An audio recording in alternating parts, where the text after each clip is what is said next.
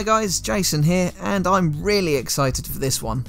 In my hands is the Matchbox MB176 Skoda 130LR that was only available in the rest of world market, so excluding the US and Canada, between 1987 and 1989.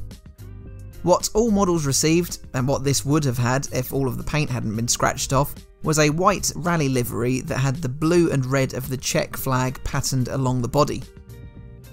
To date, it's the only Skoda the Matchbox have produced, and being available in limited markets, it's pretty hard to come by.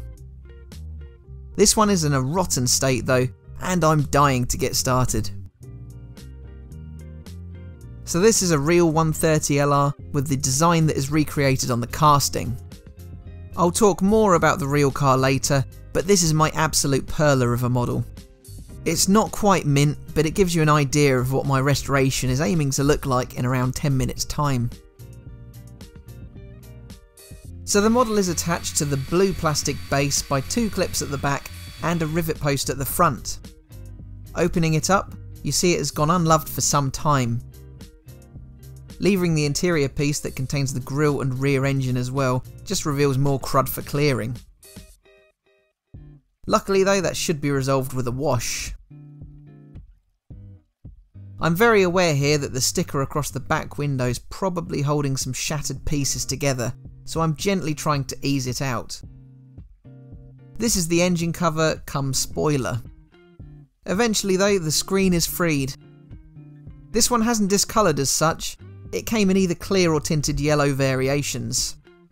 I think the tinted headlights that are part of the moulding look better than clear, giving a very 80s Eurobox vibe. That metalwork has been gouged on every surface, and needs some serious polishing. Inside, where paint remains, there are some markings from the original decals. But now I have to slowly slowly remove the flash sticker and see what it's hiding or holding. Thankfully, it's just the very corner that has snapped, so it's certainly salvageable. That suspension spring is a hot mess. Anyway, here's my motley crew of discoloured parts. Dettol antiseptic liquid will lift away any paint or pen markings from the plastics. Not sure there's much hope for this base piece though. Meanwhile, I drill a shallow 1.5mm width hole and tap it for my M2 screw to seal it back together later on. Next I use a sanding attachment in my rotary tool to lose the rust on that spring. Then I can wash and clean up the plastics a bit. So this Skoda 130 dates back to 1984. The Czechoslovakian car company produced this rear-engined, rear-wheel drive, four-door saloon or two-door coupe until 1990, just prior to the raising of the Iron Curtain. All variants were equipped with a surprisingly snappy 58 horsepower 1300cc engine, harking back to the 60s, though power was whacked up by 4 horsepower on the 87 to 90 136 models, probably to help climbing hills. Despite being out of date by 20 years at its launch, the 130, or Estelle as it was known in the UK, was actually a big hit for Skoda. Production ended just as the company was being taken over by Volkswagen. But Skoda have a long and varied history, having established in 1859 as an arms manufacturer and is the fifth oldest car manufacturer in the world. Now there's little I can do for this base in its exposed plastic form, so I lay on some primer with the intention of painting it blue. In spite of all my cleaning, it came up rather dull, but this Tamiya TS23 light blue should be the shot in the arm it needs. Dry and under studio lights, it should look the part, Next I turn my attention to revitalising these Matchbox 8 dot wheels, which for no particular reason are my favourite original design. The axles were really rusty, but a little sanding makes a huge difference.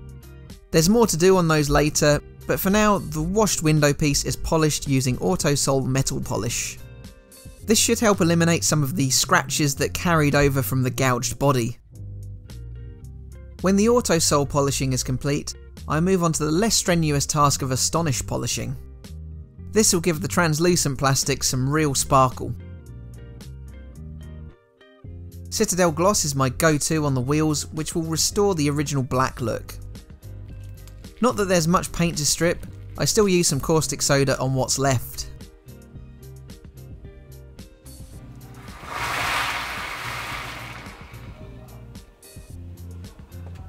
Metalwork needs a serious buffing with my wire brush. But already though, how much better does it look? I'll be using Tamiya's thicker grey surface primer later on, which I'm hoping will help fill in those grooves and gouges. I'm always wary of sanding and filing too much, as I don't want to erode away any of the cast detailing. Just watch this though.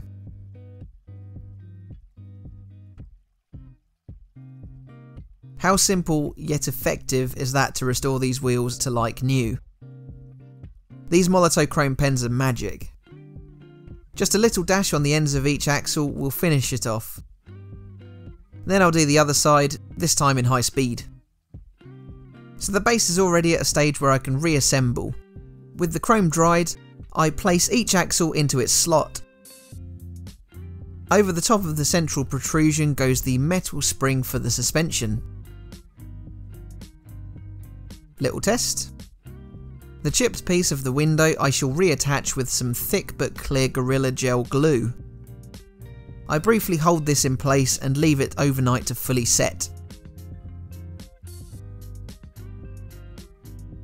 It's quite a wintry spectacle in the garden today as I lay down my primer on the body and engine cover. Already much better looking on the scratch front. A few coats of white and the main bulk will be looking as good as new. Once that primer has set, the engine cover piece gets coated in red. And already, as ever, this shade looks gorgeous. I've got some standard automotive paint for the body, Hycote's Gloss White. The grey of the primer is still peeking through slightly, but with further layers of paint that should completely cover over. These then are my reproduction decals that I'll apply. I'll leave a link in the description to the source. They are really, really good though. As I mentioned earlier, this livery is based on the real factory rally team's design. Through the 70s and 80s, Skoda Motorsport Works team were highly successful. They won their class at the British RAC Rally for a whopping 17 years in succession. The team achieved success with the 130's predecessor, the 120, until the mid 80s, when the 130 LR edition was built to conform to the FIA's Group B rules of the era. Group B cars were banned at the end of the 1986 season following some major accidents and fatalities. As such, the team reverted to the Group A spec 130L until it was replaced by the front wheel drive Skoda Favorit in 1989. Interestingly, the Group B ban did not apply to the 130LR due to its 1300cc engine capacity. At the 1987 RAC Rally, it yet again won its class. The design on the casting is not a carbon copy of the real car's livery, but it is an excellent homage. So this rather boxy European family saloon sits very proudly as one of my all-time favourites. So as soon as I picked up one of these in suitably terrible condition ripe for restoration, I just had to dive in and take it on, and just look how it's shaping up. Well then, these are all of the parts that make up my salvaged Skoda. I place in my re-glued, cleaned and polished window and headlight piece, followed by the red engine cover. The grille, engine and interior piece follows, then finally, I line up the back of the base, push down over the front rivet post, and fetch my screw to seal it all together. Well, that has been quite a journey. Once upon a time, unbelievably, my Skoda 130LR looked like this. I don't know what happened to the paint, but no surface went untouched. Everything was either scratched or covered in marker, or better still, shrouded by a flash sticker. I absolutely had my work cut out for me for this restoration. So let's see how this sketchy Skoda now looks. I'm not one to blow my own trumpet, but I would never have said in a million years this could ever look as it did previously. There are still a few scratches that wouldn't budge on the headlights and windscreen, while the giveaway crack on the back screen is still there. Aside for the absolutely out of this world decals, my favourite parts are the wheels, and just how easy it was to return them looking this shiny like new.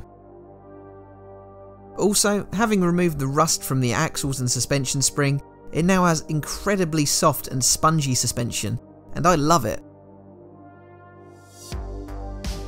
Again, I'll leave a link for the decals in the description, in case anyone wants to give it a go themselves.